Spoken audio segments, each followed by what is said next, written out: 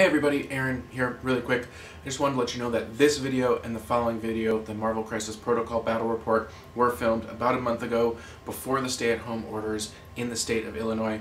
Josh and I are maintaining um, not only social distancing, but we are also staying at home uh, for the protection of ourselves and everybody else.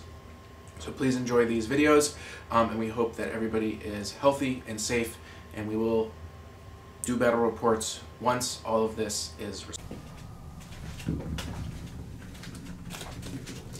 Gonna do this. Why?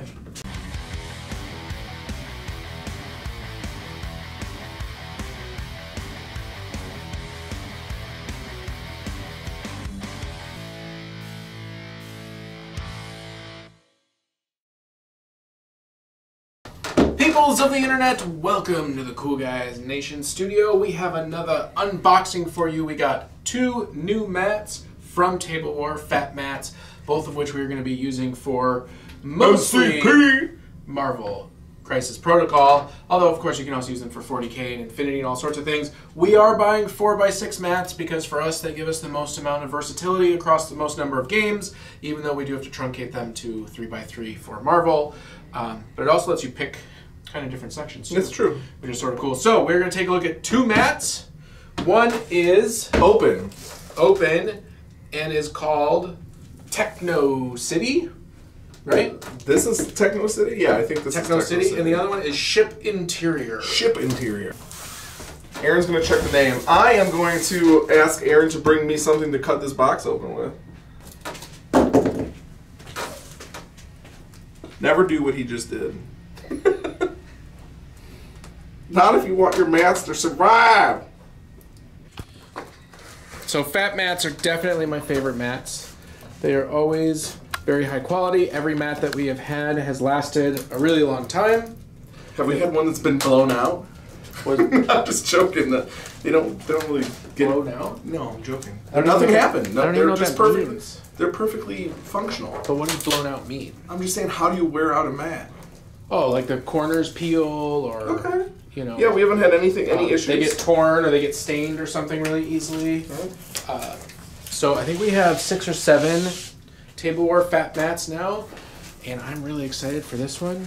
All right, so this is how they come. Hold on. Oh. You pull it out. Super nice bag for you to hold it. The coolest thing They come with a tag that you can put your name and your contact number, and a picture of the mat that's inside. so you can visually figure out which one it is right away. And of course, you can go to tablewar.com in order to get your mats. Not a sponsor, although Doug, is a cool guy. if you want to be a sponsor, I'm happy to take your sponsorship. Wow, this one's bloody. Yeah. All right, you gotta grab it. Can you see any of this action that we're doing. I think so. All right. Wow, that one's really vibrant. Yeah, this is cool. Guess what? Chicken butt. Well, backwards again. Now it's it's that way so you can see what mat it is instantly in the roll, Correct. but it makes it less cool to unbox. Whoa. Oh, this is cool. This one's awesome. All right, this is like straight up uh, Event Horizon ship right here, dude. All you got, all you cool people know that Event Horizon's a Warhammer 40k movie, Yes, that is true. and this looks like a Warhammer 40k ship. Big old bloody spot in the middle.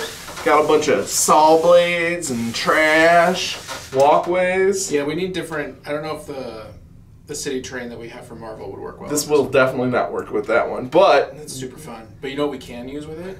All of the uh, GW pipes and Yeah, for sure. and We get it'll definitely be the interior of the city. We could use bulkheads, stuff Oh, like that. So this is super cool. This would be like a uh, possessed hellcarrier or something.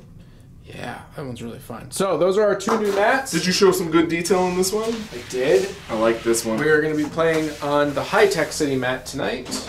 We'll be setting up a board here in a moment for a game of Marvel Crisis Protocol, and in that game, we got some new characters. We do. Let's roll this one actually. Let's roll it. Let's roll it up. Roll it, roll it, roll it. Uh, who are you playing with tonight? Uh, I am gonna play with uh, the Asgardians. I think. Nice. because I want to try those out. Are you gonna do Wakandans? Well, I mean, we're gonna make a roster, so we might not play any of that. So, depending on what it, what it did. Um, I'm feeling. I kind of want to play Spawn. I'm feeling like feeling, Spawn? I feel like what's Spawn? Why do I always do that? What is Spawn? Venom? No, it's Spawn, dude. I I'm sure that Venom had a lot to do with Spawn's creation. Uh, honestly, I always if conf- you think about it, I it. always conflate the two. Well, you're not far off, honestly. One of them has got a symbiote. Oh, so they both do. Yeah. First thing we picked up is some awesome 3D printed objectives for all the different objectives in the game. Most of them are painted, which is great. Yeah, we've got the consoles, we got the cubes, we got the spider infected, the serum, the files, whatever this is, the Wakandan herbs, the scrolls, and the gamma. What did I just Gamma say? shelter. Gamma shelters. So they're not quite the perfect size for the the token, but for us playing on the channel, it's cool enough for us to, to go with. We really think this is. They look awesome. On top of the objective markers, we also picked up some new terrain. We have this train and the train tracks, taco truck, bunch of cars.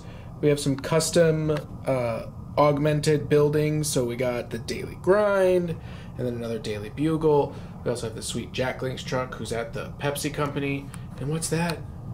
Why is there a Coke machine at the Pepsi company? I don't know. New police cars, porta potties, all sorts of stuff. There's a lot more than this. Um, we probably have enough to make three or four new boards, but you're just gonna have to wait and see the rest of it. We're gonna go ahead and film a game right now.